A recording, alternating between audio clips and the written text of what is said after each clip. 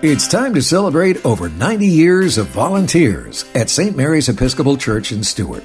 Many of our St. Mary's volunteers are very experienced servants of the Lord, while others are just beginning their journey with Jesus.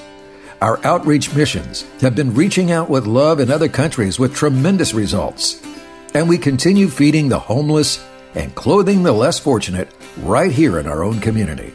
Our lay Eucharistic visitors are taking the Blessed Sacraments to those not able to attend our services.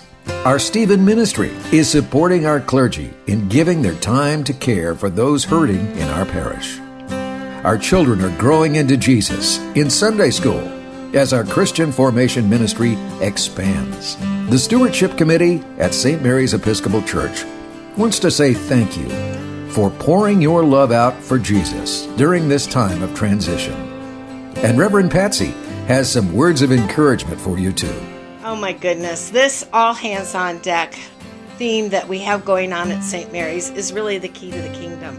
We're building the kingdom of God here at St. Mary's, and when everybody uses their gifts and time and their talents to the glory of God, that's everybody using what God has called them to use, and it's such a blessing.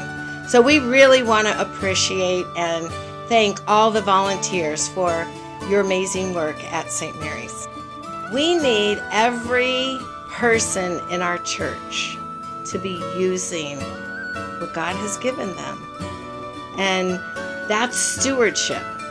And there is not a scrap wasted when we use our gifts and talents to the glory of God. We need every person using what God has given them and called them to be. As you um, are the hands and the feet and the voice of Jesus. Bless you.